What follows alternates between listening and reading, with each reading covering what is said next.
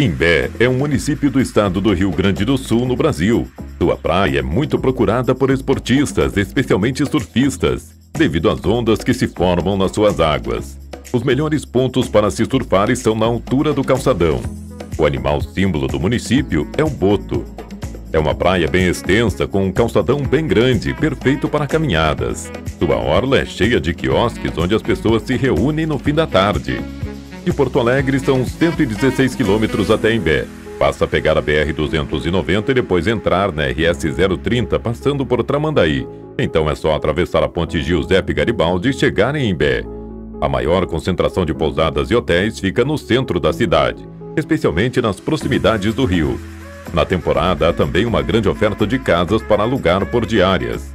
Refeições em Imbé não são um problema, pois a cidade conta com diversos estabelecimentos, os cardápios são variados, com pizzarias, restaurantes de frutos do mar e as famosas churrascarias gaúchas. As opções estão espalhadas pela cidade, porém é um polo gastronômico concentrado na Avenida Beira Mar, às margens do rio Tramandaí. Imbé conta com 11 quilômetros de praias, cada uma com suas peculiaridades. Porém, são todas a continuação uma da outra, que mudam de nome conforme o bairro em sua frente.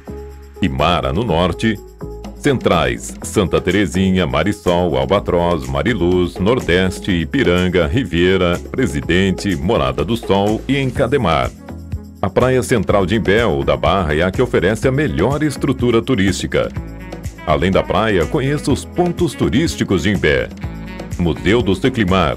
Uma boa oportunidade para conhecer os biomas locais. O espaço conta com uma exposição de animais marinhos, aves e mamíferos, além de aquário e mini zoológico. No mesmo complexo localizado às margens da Lagoa Tramandaí funcionam também os museus paleontológico, de ciências naturais e o oceanográfico. A Ponte Giuseppe Garibaldi, que é parte da RS 786 entre os municípios de Imbé e Tramandaí. O local é ponto preferido de pescadores da região.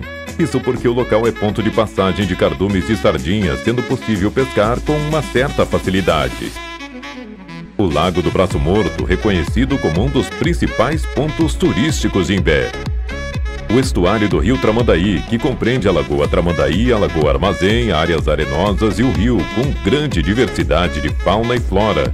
Nas lagoas há opções de passeios de barco, pesca e prática de esportes náuticos.